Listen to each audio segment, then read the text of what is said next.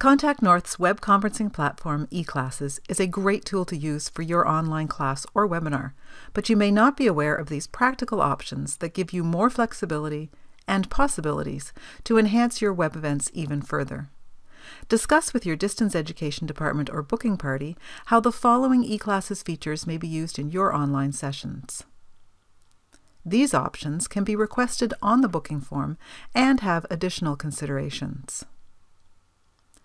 With the open enrollment option, you can arrange to invite guests who are not registered or pre-enrolled to attend your sessions. Upon request, you will receive a unique URL that you will provide ahead of the session, or you can invite last-minute guests directly from the session. Attendees invited through open enrollment do not receive login credentials and will only be able to access the session with the URL that you have provided.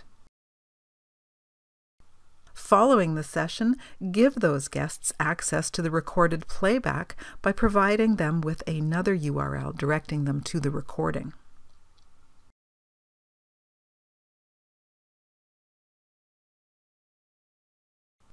Would you like to direct attendees to a specific web page once they log into your session? A welcome URL can focus attendee attention, provide pre-session information, or simply entertain early attendees while they wait for your session to begin. You can even have a different welcome URL for your session leader. Automatically direct attendees, when they log out, to a URL of your choosing. For example, you could get valuable feedback of your session by taking them to a survey tailored specifically for your class.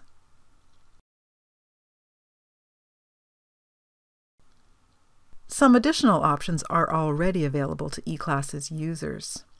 If session leaders choose to include an Agenda Builder evaluation in their event, results will be available, along with attendance and playback information, in post-session reports.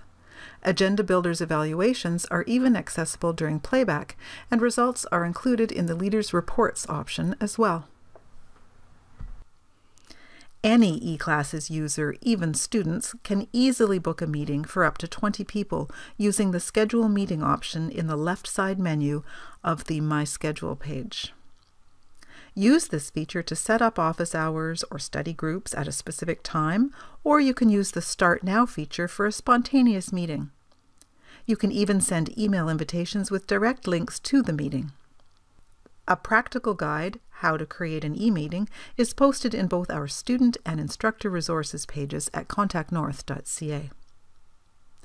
Maximize the possibilities of your next eClasses session by considering these options.